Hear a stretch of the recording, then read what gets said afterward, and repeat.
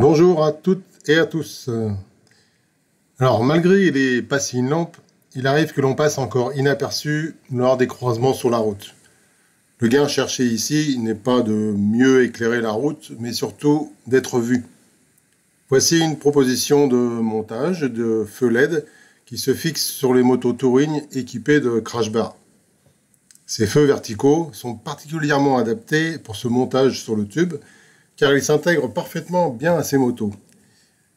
Les connexions filaires se cachent facilement sur le crash bar, qu'ils soient équipés ou non de pare-jambes comme sur cette Indian Roadmaster. D'ailleurs, c'est la mienne. Je dois ici remercier Ratmucho du Fire, le forum euh, Indian, qui m'a fourni son plan de montage, et mon ami Luc, qui a su trouver les bonnes solutions électriques.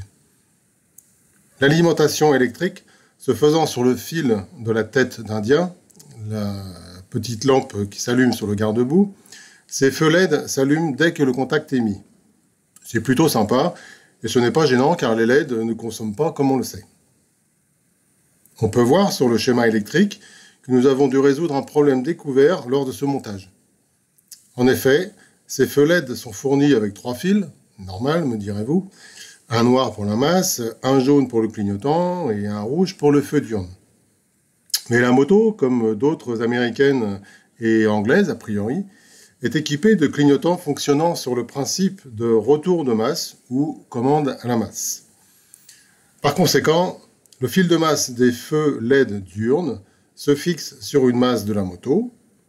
Mais attention, le support de ferrigne étant sur le cylinder block, il s'agit de trouver une masse dans ce secteur. Vous allez bien trouver et les fils de masse des relais électriques gauche et droit vont se fixer par une épissure respectivement sur le retour ou commande de masse des clignotants gauche et droit de la moto. Un électricien va comprendre.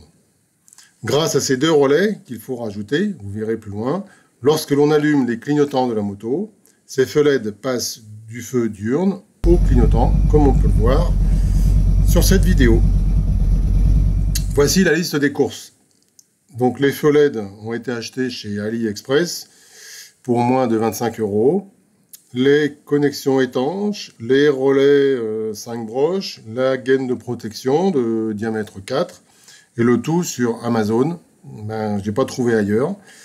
Les fils électriques en 0,50 chez un fournisseur Conrad, qui est très très bien fourni et de la gaine thermo euh, chez votre euh, bricoleur du coin.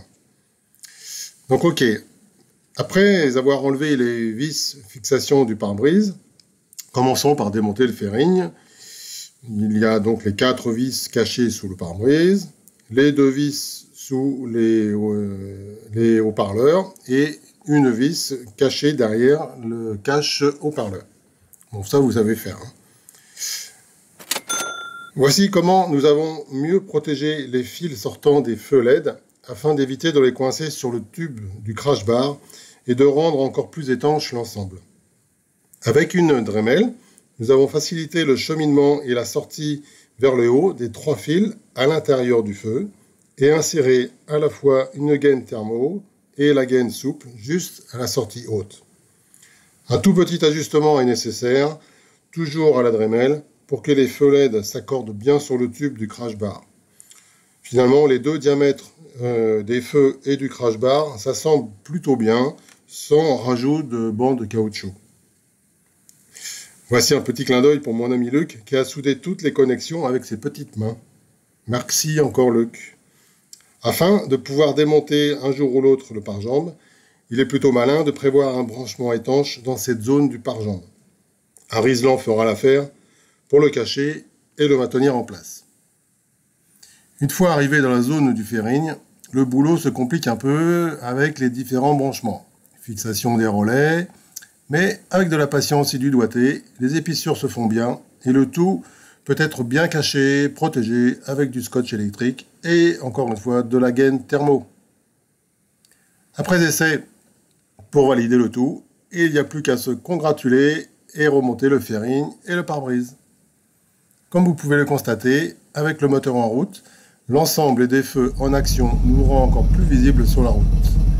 Cela affiche donc un double clignotant gauche ici, tout en conservant le feu LED diurne droit allumé.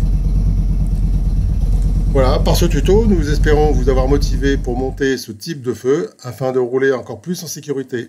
Donc bonne route à toutes et à tous de la part de Tipeee56 et du Fire.